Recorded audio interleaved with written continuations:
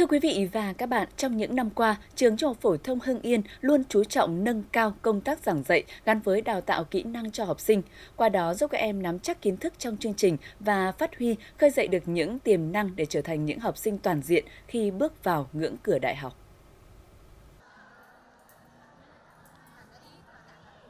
Một giờ học môn vật lý của lớp 11A2 trường Trung học phổ thông Hưng Yên. Thay vì giáo viên là người truyền đạt kiến thức đơn thuần, các em được làm chủ tiết học của mình với phương pháp hoạt động nhóm để tìm hiểu, thuyết trình các kiến thức một cách chủ động, sáng tạo. Ở mỗi giờ học, việc ứng dụng công nghệ thông tin, sử dụng các thiết bị dạy học thông minh, phần mềm hỗ trợ giảng dạy được 100% các thầy cô sử dụng thành thạo. Qua đó, nâng cao chất lượng giờ dạy, đồng thời giúp tiết học của mỗi môn có những điểm mới, thu hút học sinh nhiệt tình tham gia. Khi mà được tiếp cận với những phương pháp học, tập và dạy học mới thì bọn em đã có thể chủ động tiếp thu kiến thức hơn, vận dụng những kiến thức đã học được vào trong thực tiễn cũng như là trên các phần mềm trên máy tính và từ đó là bọn em rút ra được những phương pháp học tập riêng để à, vận dụng vào những môn học khác nhau. Trong cái giai đoạn đổi mới giáo dục thì à, chúng tôi đã rất là tích cực trong cái việc mà tiếp thu uh, những cái phương pháp dạy học mới và kết hợp với những phương pháp dạy học truyền thống làm sao mà đơn giản hóa những cái bài học để cho học trò của mình hứng thú, tích cực học tập hơn.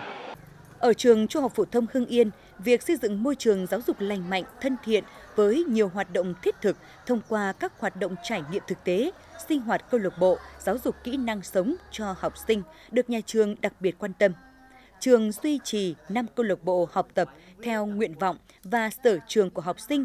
Thông qua đó, các em được trao dồi kỹ năng cần thiết và phát triển tự hoàn thiện bản thân.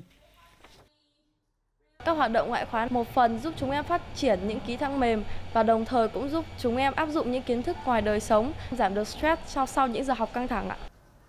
Nhà trường luôn xác định nhiệm vụ trọng tâm xuyên suốt trong mỗi năm học là đổi mới phương pháp dạy học thông qua các công tác bồi dưỡng, tập huấn cho các cán bộ giáo viên, các thầy cô luôn chủ động trao dồi kỹ năng, ứng dụng mạnh mẽ công nghệ thông tin, dạy học theo định hướng và phương pháp mới,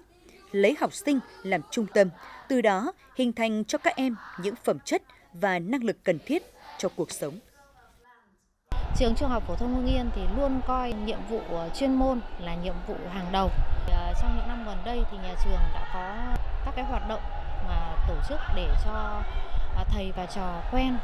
và thành thạo với tất cả những cái phương pháp kỹ thuật dạy học mà để giúp cho hoạt động học trở lên tốt hơn. Với sự đoàn kết và nỗ lực không ngừng của nhà trường, nhiều năm liền, truyền thống dạy tốt, học tốt được giữ vững, tỷ lệ tốt nghiệp đạt 96%. Tỷ lệ đỗ đại học năm sau cao hơn năm trước. Nhà trường nhiều lần được Thủ tướng Chính phủ, Bộ Giáo dục và Đào tạo tặng bằng khen. Có thể nói, bằng những giải pháp đồng bộ và hiệu quả trong việc đổi mới, nâng cao chất lượng dạy và học, trong đó ưu tiên hàng đầu là đổi mới công cuộc dạy học, ứng dụng công nghệ thông tin, lấy học sinh làm trung tâm để phát huy năng lực và phẩm chất của học sinh. Trường Trung học phổ thông hương Yên đã thu được những kết quả nổi bật, khẳng định vị thế của mình trong khối các trường trung học phổ thông trên địa bàn tỉnh. Qua đó góp phần nâng cao dân trí, đào tạo nhân lực và bồi dưỡng nhân tài cho quê hương và đất nước trong thời